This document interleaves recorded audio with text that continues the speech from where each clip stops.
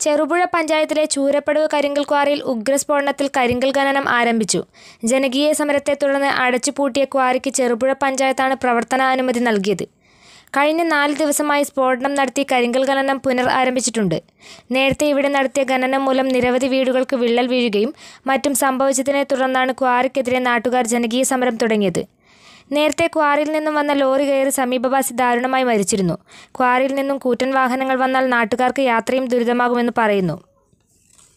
Panchayat licence നൽകിയ സാഹചര്യത്തിൽ C P എമ്മിന്റെ നേതൃത്വത്തിൽ പുതിയൊരു ആക്ഷൻ കമ്മിറ്റി രൂപീകരിച്ചിട്ടുണ്ട്.